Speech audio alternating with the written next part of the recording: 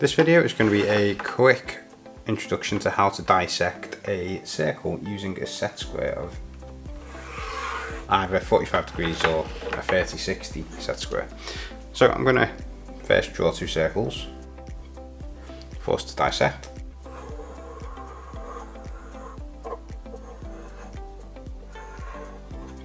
Again, nothing too heavy just yet.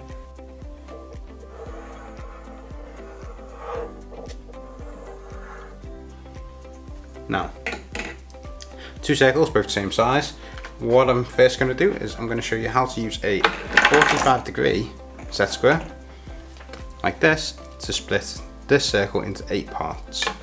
So, first thing we do is find the center point of the circle and use the square edge of our set square, and then we can simply mark the halfway points. And for the sake of this demonstration, I'm going to draw the line through. So we've quartered our set square and what we can now do is simply use the 45 degree angle here through the center and then rotate.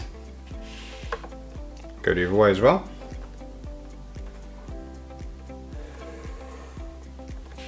It's a simple way to dissect a circle into eight equal parts. Now the other option we have is we could use our 30 by 60 set square and on this second circle over here we shall do just that. So I'm going to pass the first lead 30 degree line through the centre point. If you struggle to find the centre point, try putting your pencil on it first and then move your set square up to it.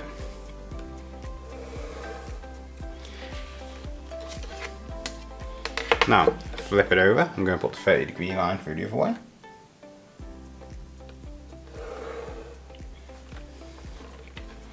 Now, what I can do is I can use the 90 degree line and throw that through there. And finally, flip our set square over and let's use that 60 degree angle through the center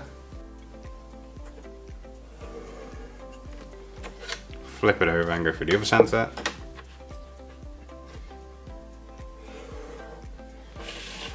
And that way you have 12 individual portions of a circle.